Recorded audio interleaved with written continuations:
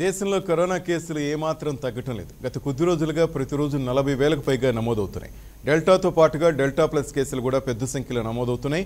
Delta plus variant నుంచి మరో కొత్త వేరియంట్ పుట్టుకొచ్చింది. అదే ఏవై ట్వెల్వ్ వేరియంట్. ఆ ఏవై ట్వెల్వ్ వేరియంట్లో ఆగస్టు ముప్పై తేదీన దేశంలో మొదటిసారి గుర్తించారు.